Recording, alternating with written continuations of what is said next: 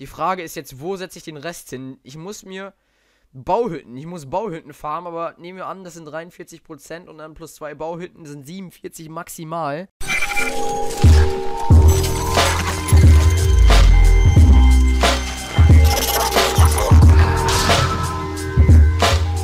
Hallöchen und willkommen zurück zu einer neuen Folge Let's Play Clash of Clans mit mir, Thomas und Playgaddon. Wie schon angekündigt, ich bin in den kleinen YouTuber-Treff, wo einige YouTuber drin sind, wie zum Beispiel Elefantenfisch, MediaTV, ich, Mike Boss, Badoom, Torero, Andy und Tobias Spirit Hawk, der Beste in Deutschland. Ich bin immer noch geflasht, dass ich mit ihm in einem Clan bin. Und heute steht mal wieder eine CW-Folge an. In einer Minute und 33 Sekunden fängt der CW an. Und der Gegner hat einfach mal 130 gewonnene Clan-Kriege und wir haben einfach mal 0. Wir müssen gucken, was da machbar ist. Also, das wird wirklich schwer. Ähm, in den Clan können auch Abonnenten von uns rein ab Level 80. Ich konnte leider kein Infovideo machen, weil ich ja auch andere Projekte habe, außer COC. Und dann wollte ich nicht viel zu viel COC rausbringen, weil ich auch will, dass meine anderen LPs geguckt werden. Da Horror wirklich ein sehr großer Bestandteil des Kanals ist. Auf jeden Fall hier bin ich, 2903 Pokale. Die Challenge haben wir verloren. Ich werde die ähm, Bestrafung auch bald antreten. Video dazu wird Sonntag kommen. Ja. Moinsen Leute, macht's im CW bitte so, wie der Elefantenfisch es zuvor geschrieben hat. Und übersetzt euch, überschätzt euch also, also lieber eine Nummer unter euch als zu fällen. Viel Spaß und Glück. Peace. Okay. Also ich bin schon gespannt, was ich hier reißen kann. Auf jeden... Oh oh. Ich habe voll vergessen anzufragen, was. Ah. Äh, Golem für CW. Ah, ich vergesse das immer. Ne, warte, lieber den Android. Das Android-Männchen nehmen ist stylischer, finde ich. Ich habe voll vergessen anzufragen. Ich hoffe, ich bekomme jetzt auch noch einen Golem, was ich aber eher bezweifle. Scheiß drauf und werd ihn an die Kobolde los. Hä? Auf jeden Fall, ich kann sagen, der Clan ist total aktiv. Huh. Also die freuen sich auf jeden Fall schon mal auf den CB. Ich bin auch gespannt, was wir reißen können, aber ohne CB ist es schwer. Packt irgendwas rein. Doppelpunkt, Hashtag ne, Doppelpunkt D. Go, go, go, go. Jo, wir können auch mal direkt reingucken. Okay. Nummer 17 greift die Nummer 18 an. Ist in Ordnung mit Go Wipe. Mal gucken, was er reißen kann. Clanburg lockt da nicht raus, Blitz hat er nicht dabei. Okay, kann man mal machen, wenn da nur Bogenschützen drin sind. Kann man es machen, aber ich bin mir nicht sicher, was da drin ist. Da der Gegner 130 gewonnene Clankrieger hat. 130, das muss man sich erstmal auf der Zunge zergehen lassen. Das ist schon eine Hausnummer. Aber wenn man hier alles richtig macht, müssten es eigentlich zwei Sterne werden. Ein Stern auf jeden Fall, aber ich frage mich, wieso er den letzten Packer nicht setzt. Okay, er hat etwas später gesetzt. Ist in Ordnung. Ja, Sprungzauber sitzt. Einige jumpen rüber. Ja, perfekt, alle jumpen rüber fast. In der Mitte ist jetzt einiges los, dank der Clanburg und ich glaube, alle werden in der Mitte gegrillt. Okay, Minions sind drin. Ich habe einen Blitzsauber genommen. Blitzsaubern kann man wahrscheinlich Minions ausnocken. Hoffe ich zumindest. Okay, das sieht momentan noch... Ah, ah, ah, ah. Er muss auf die Queen aufpassen. Ich würde jetzt zünden. Okay, nee, muss man nicht zünden, denn die Magier machen einiges Damage an der Queen. Ja, müssten eigentlich lockere zwei Sterne werden. Ein Bogenschütze hat er sogar noch als Backup da. Rat ist es gefallen? Ja. Wobei, ah, eine Hexe lebt noch, ne? Das kann knapp werden. Das wird zu knapp. Ah, verdammt. Ah. Ja, ah, ah. Was macht der liebe LS, LS8 jetzt? Das wird leider nichts mehr. Schade aber auch. Sah so vielversprechend aus. Und jetzt Uh, Level 3 Packer, das ist natürlich auch nice. Kann man mal mitnehmen. Oh, oh. Gucken einfach mal rüber, wer hier angreift. Okay, wir können leider nicht zuschauen. Schade, es gucken anscheinend zu viele zu. Okay. Fuck, Alter, Bam. Will jemand angreifen? AG, nehme auf. Doppelpunkt P. Mal gucken, ob sich jemand meldet. Das ist zum allerersten Mal, dass ich in einem Clan keine Aufmerksamkeit bekomme. Und ich muss sagen, es ist wirklich angenehm, denn dann kann ich auch abends mal in Ruhe boosten. es soll jetzt nicht böse gemeint sein, aber manchmal will ich einfach nur meine Ruhe haben und dann... Es ist wirklich cool. Hi YouTube. Yo. Es ist wirklich cool, dass man im Clan welche hat, die sich für einen interessieren. Das ist echt geil, dass dann so Fragen gestellt werden und so. Das mache ich auch lieben gerne. Nur manchmal wenn ich auch kurz online komme. Das ist so ein Community Clan. Ich hoffe, dass. Ich glaube, es legt sich irgendwann. Okay, Nummer 10. Mast am Mark. Mal gucken. Schweinereiter setzt er vor. Auf jeden Fall, wenn ich manchmal so ein Community Clan online komme.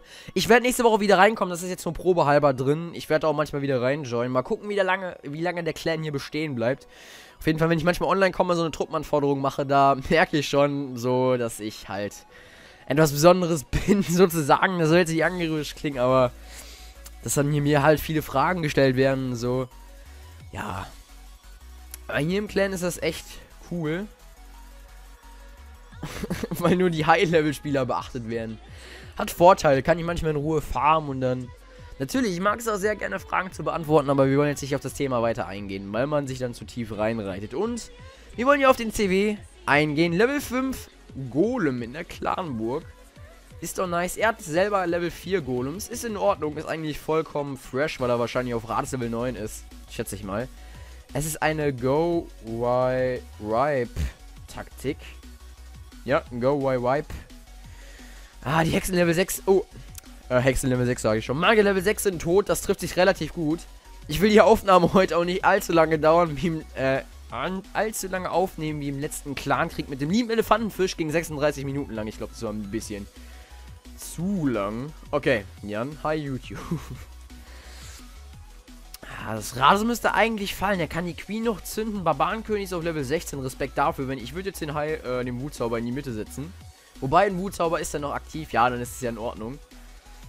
Ja, müssten eigentlich lockere... Ja, es werden lockere zwei Sterne. Nice one. Uh, drei. Mal gucken, was der CW-Clan hier leistet. Ich will auf gar keinen Fall beim ersten Angriff failen, weil die dann so einen schlechten Eindruck von mir haben. Und das will ich natürlich auch nicht. Ich will das Bestmögliche hier rausholen. Zwei Sterne sind es geworden, drei wahrscheinlich nicht mehr. Wir können schon rausgehen. Am Ende wird ja sowieso nur noch ein bisschen herumgetrödelt sozusagen. Le äh, 13. greift die 15 an. Ist auch in Ordnung. Mit Lavalunion. Habe ich jetzt auch einen Meister benutzt. Sehr oft. Ich muss auch sagen, mit der Strategie ist man wirklich sehr erfolgreich. Zwei Wutzaubersetzer. Vier Wutzauber. Ich hätte vielleicht noch einen Heal mitgenommen. Wäre sinnvoll gewesen, um die Luft, äh, Luftballons, sage ich schon. Ballons zu heilen ist an einigen Stellen wirklich sehr wichtig. Habe ich so gesehen, wenn da so suchende Luftminen rauskommen. Also die haben wirklich Level 6er Magier in der Klarburg und Hexen. Das wird schwer sein. Ich habe nur einen Blitz dabei. Uhuhu. Zwei Sterne will ich auf jeden Fall rausholen, aber ich muss gleich erstmal gucken, wen ich angreife. Ich glaube, mein Ziel wurde sogar schon angegriffen. Wobei Nummer 9, nee, aber ich glaube, ich greife dann so die 11 an. Ich greife lieber einen unteren an, als dann zu failen. Hat der liebe Elefantenfisch ja auch in einer Klarnachricht geschrieben. Lieber ein, zwei weiter unten angreifen, statt zu failen. Bin ich vollkommen der Meinung. Denn die oberen haben jetzt zwei Angriffe zur Verfügung und die können dann halt im Notfall noch einen abnehmen und dann passt das doch alles. Weiter geht's über Clankrieg. Ah, das Rad wird nicht fallen. Die Base ist wirklich gemein. Man will, dass der von unten und von oben angreift. Von oben kriegt er das Rad das nicht und von unten ist die Wahrscheinlichkeit auch hoch zu fällen. Aber wenn man von unten angreift, ist die Wahrscheinlichkeit hoch, 50% zu bekommen. Ja, schade aber auch. Nur 48% wird leider ein Fail. Ja, ja, ja. Es gibt bessere Angriffe, aber jeder kann failen. Nummer 15 wird uns angezeigt. Wir gucken uns erstmal die 11 an, was die so drauf hat. Ich würde gleich auch gerne angreifen. Ach, Mist, da kann man rauslocken. Ne? Uh. Die Frage ist jetzt, werden wir die Klarmuck rauslocken? Ja oder nein? Ich weiß noch nicht, von welcher Seite ich angreifen würde. Ich glaube, von der hier oben. Ich finde obere Seiten immer sympathischer. X-Boss Level 3. Wir gucken uns nochmal die 12 an im Notfall und schauen, was die so drauf hat. Ja, ja, die ist ein bisschen verruchter, sage ich jetzt mal so. Ah, ja, quadratische Basen greife ich schon relativ gern an. Wir gucken mal, ob noch jemand angreift. Sonst würde ich jetzt gleich meinen Angriff nutzen. Okay, ich nutze meinen Angriff. Er braucht einen Packer. Würde ich jetzt gerne geben, aber ist momentan echt schlecht. Ich kann natürlich mit einem Mauerbrecher versuchen, die Klamuk rauszulocken, aber ist relativ blöde. Sollen wir es riskieren? Sollen wir es riskieren? Wir riskieren es. Klamburg ist nicht voll. Angreifen. Angreifen. Concentration. Hm, die Magier hinterher. Klamburg ein bisschen rauskommen lassen. Ich blitze relativ selten das raus. Und ich habe jetzt die Mauerbrecher viel zu spät gesetzt. Ich hoffe, es wird kein Fehler sein, dass ich die so spät gesetzt habe. Hoffen wir mal einfach nur das Beste. Helden können jetzt gestartet werden, beziehungsweise rein. Und Sprungzauber direkt hier hin. Der müsste eigentlich sitzen. So einiger... Oh, jetzt habe ich vergessen, die Klamuk zu setzen. Das ist immer mein Problem, wenn ich die Klamuk dabei habe. Den Wutzauber heben wir uns so auf. Der Barbarenkönig wird jetzt fokussiert. Den müssen wir gleich sogar schon zünden. Wir schmeißen jetzt den Wutzauber hier in die Mitte. Ratos müsste eigentlich locker fallen. 50%. Wir haben genug. Geht doch aufs Rathaus. Geht doch aufs Rathaus. Ja, dankeschön. Huh, zwei Sterne wenn es auf jeden Fall. Ich habe noch 17 Bogenschützen als Backup dabei. Das müsste eigentlich klappen. Ja, müsste eigentlich klappen. Das. Das, das. Das. WhatsApp, ich habe jetzt... Ah, noch fokussiert. Wir haben noch genug Zeit. Ich lasse mir Zeit jetzt. Ah, es kann doch nicht sein, dass die... Okay, die 50% wären doch knapper, als ich gedacht hätte. Verdammt. Auch hier noch die Goldmine ganz knapp. Ja, die Goldmine. Das wären nie im Leben 50%. Verdammt aber auch. Ah, es müssen 50% werden. Aber ich weiß nicht, wo ich die Prozente holen soll. Labor hat wenig Lebenspunkte. Die Bauhütten haben leb wenig Lebenspunkte. Äh, 1 Minute 18. Die Goldmine und den dunklen Bohrer bekommen wir auch noch. Die Frage ist jetzt, wo setze ich den Rest hin? Ich muss mir Bauhütten. Ich muss Bauhütten farmen, aber nehmen wir an, das sind 43% und dann plus zwei Bauhütten sind 47 maximal. YOLO, YOLO, YOLO, YOLO, YOLO, YOLO. Komm, komm, komm, komm, komm, komm. Äh, hier noch ein Mauerbrecher als Tank sozusagen. Der hat wirklich getankt. Ne, das wird nichts mehr. Verdammt aber auch. Ich hätte nicht gedacht, dass das so knapp wird am Ende. Ah, das Problem war, dieser eine Blitzzauber, der war total unnötig. Ich habe vier Gebäude. 44%. Dunkler Bohrer wird jetzt fallen. Nee, drei Gebäude für 6% sind zu wenig auf Radeslevel 9. Viel zu wenig sogar. Ah, Mist. 48? Jesus. Ah.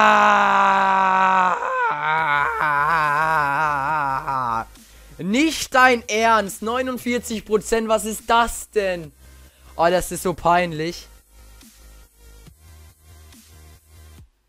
Verdammt.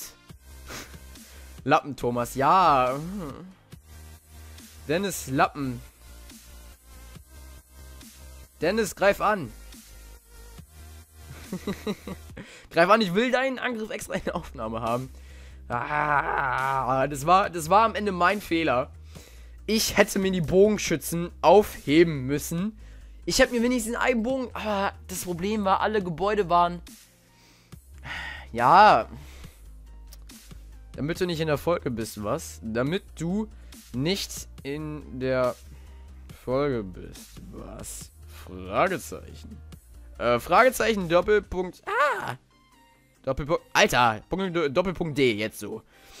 Und, äh, ja. Oh Mann. ich bin zu blöd zum Schreiben. Oder oh, liebe Tor will angreifen. Oh, ein Stern, das ist so bitter. 49 Prozent. Ah, ich weiß jetzt nicht, wo das Problem war. Wahrscheinlich werdet ihr erfahrener sein in diesem Spiel als ich. Ja, ich... Ah, Mann, ich hasse es zu failen. Ich hasse es so sehr. Und dann mit 49%. Wen soll ich angreifen? Ja, das lieber tapferer Krieger, das musst du wissen. Wäre ganz lieb. Ah, ich bilde schon mal die Truppen aus. Damit ich nachher noch ein bisschen spenden kann. 3-3. So. Packer, Packer, Packer. Die werde ich schon mal ausbilden. Ne, hat noch keiner den Angriff gestartet. Zwei Golems, meine Standardstrategie hier für den Clankrieg. 1, 2, 3, 4, 5, 6, 7, 8.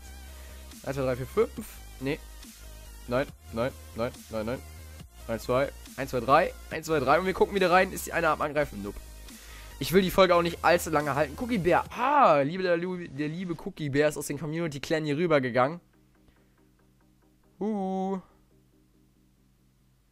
Soll ich ohne Klarburg angreifen? Nie, niemals ohne Klarburg angreifen. Ich glaube, das war's dann eigentlich auch mit der Folge. Dennis, rate mal wegen meiner Base und so aussieht. Aber wir können ja mal ganz kurz gucken, wie seine Base aussieht. ja, die Bestrafungsbase muss ich auch noch. Guckt das euch an, ist so ein trauriger Smiley neben der Penis-Base. ich würde dann sagen, das war's dann mit der heutigen Folge. wenn euch das Video trotz des Fails gefallen hat. Und wenn ihr öfter solche CWs-Videos sehen wollt, schreibt es mir unten in die Kommentare rein. David. Ja. Ich wollte eigentlich die Folge beenden, aber schreib mir noch lieber, Dennis, was dein Begehren ist. Was hast du denn für Pro äh, Probleme? Schütte dem Thomas dein Herz aus. Wo ist dein Penis? Kommt noch, habe ich in der Folge gesagt. Habe ich in der Folge gesagt. Und mein Penis ist in der Hose. Okay, bevor das hier zu schlüpflich wird, würde ich die Folge beenden. Wir sehen uns in der nächsten Folge. Bye.